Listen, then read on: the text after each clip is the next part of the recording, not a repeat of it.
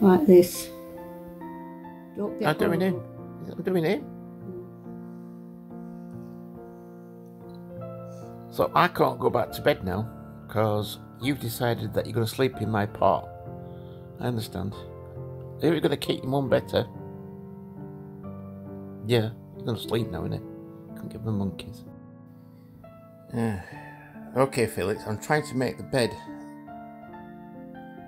Felix, dear boy, you can't lie there because I'm trying to make the bed. Don't you wag your tail at me.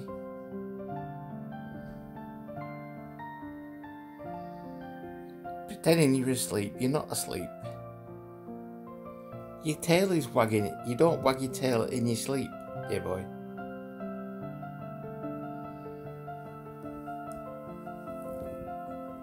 Not asleep can see you peeping at me.